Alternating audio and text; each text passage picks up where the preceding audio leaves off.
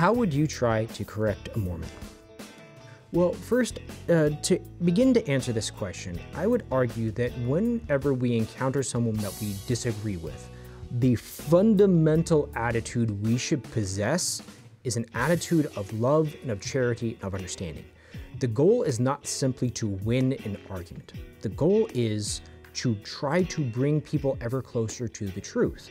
We are trying to encounter what is the underlying reality of being. We're trying to encounter God here. And so it doesn't matter like if I'm have this hold this opinion or that opinion, the goal is to enter into truth. And so if we enter into our conversations with that mentality, not I'm going to convince you that you're wrong and dumb, but I'm going to try to seek with you a greater understanding of the divine.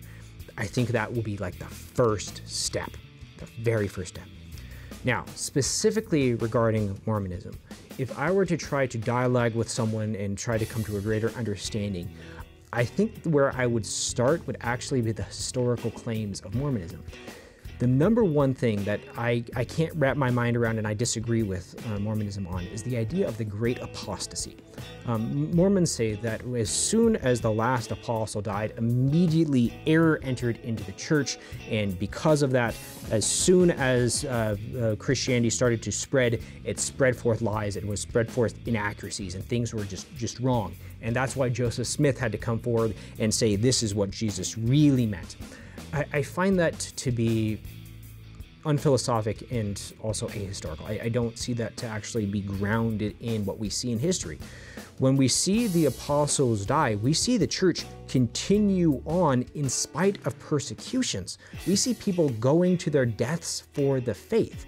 I mean, people wouldn't immediately admix error to something that they're willing to die for. They have dedicated their lives to this. And so the testimony of the martyrs is that this is what Christ taught. Um, and then, as soon as persecution ends, we see the unbroken teaching of the church continue to this day. I mean, every Sunday we proclaim the creed, and usually it's the Nicene Constantinopolitan Creed.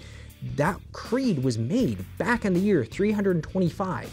For the past 1700 years, Christians have claimed this creed to say that immediately after the last apostle died, that there was a, a, a mixture of error thrown into Christianity makes no sense to me. Like the martyrs died for this. The church has held true to the faith of the martyrs. It, it, it just doesn't make sense. I mean, even, uh, for example, St. Uh, Ignatius um, of uh, Antioch, who dies in the year 107 or 105, it depends on which historian you're looking to. He is said to have sat at the feet of Polycarp, who sat at the feet of John the Apostle. So we're talking about a guy who is two people separated from Jesus himself. And Ignatius proclaims the Catholic faith. You can pick up his seven letters and you can see him talking about the Eucharist. You can see him talking about baptism. You can see him talking about bishops. You can see him showing forth the Catholic faith as we understand it today, all the way back 1900 years ago. So, if I were to try to have a dialogue with a Mormon, that would be my first point um, that I would bring up. This idea of this unbroken uh, teaching of the church going back to the very beginning, um, and any sort of great apostasy seems to be ahistorical and nonsensical.